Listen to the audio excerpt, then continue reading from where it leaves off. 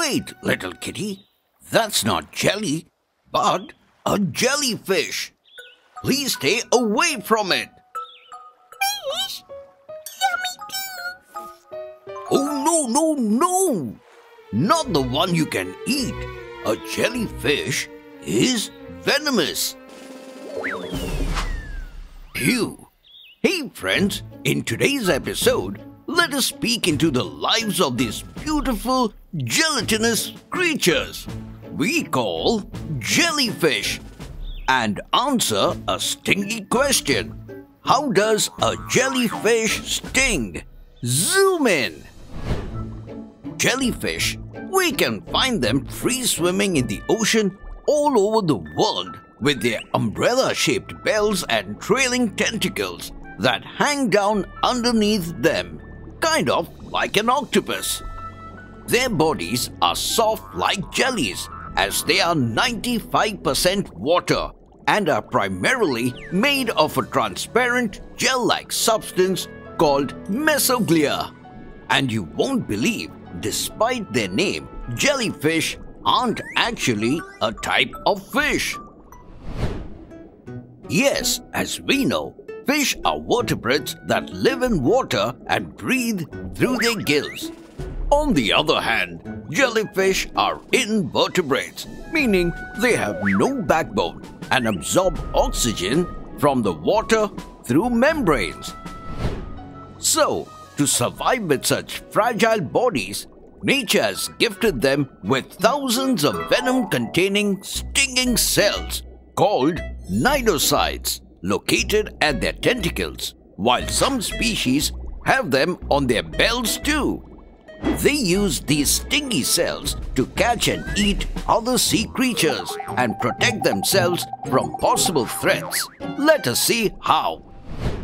If we zoom onto their tentacles, we'll notice that each stingy cell, that is, the cnidocytes, are loaded with venomous harpoon-like hollow tubules called nematocysts, which rest coiled under high osmotic pressure.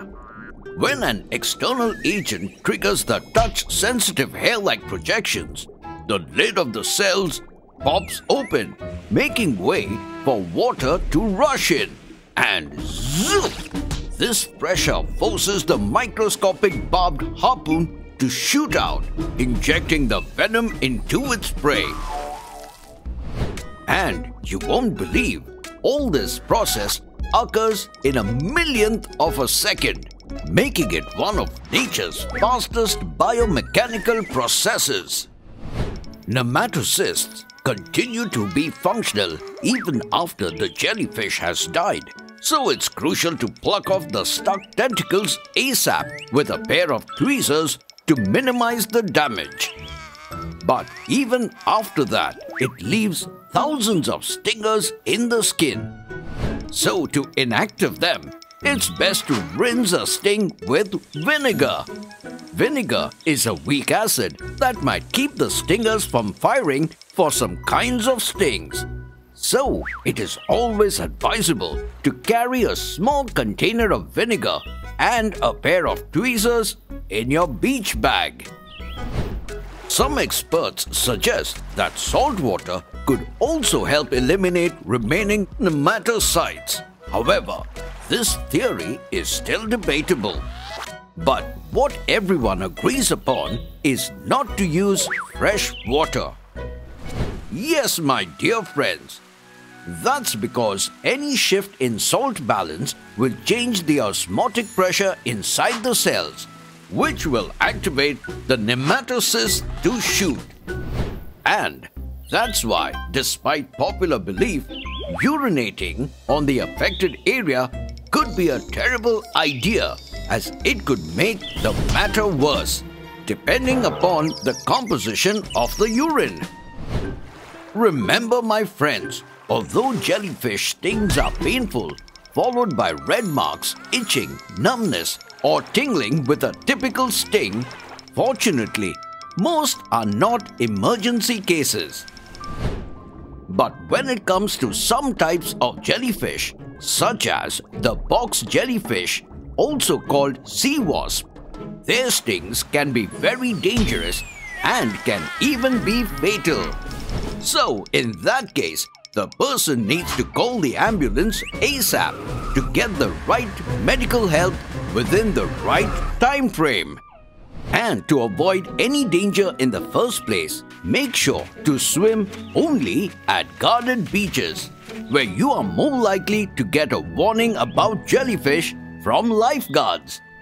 Trivia time! Did you know scientists have evidence that jellyfish have been bobbing along in the world's ocean for at least 500 million years? This means they are older than the dinosaurs. Also, the largest species of jellyfish, the lion's mane, has tentacles that can grow up to 120 feet, which is longer than a blue whale.